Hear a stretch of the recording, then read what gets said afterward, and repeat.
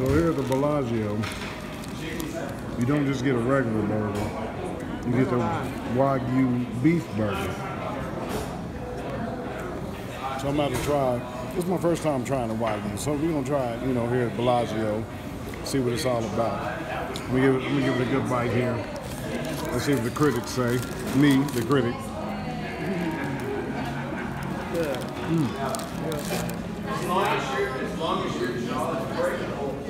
Mm, okay, okay. Mm-hmm, mm-hmm.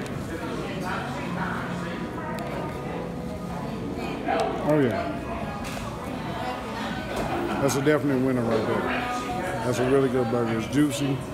You know, it got a distinct flavor. Oh yeah, that's on point.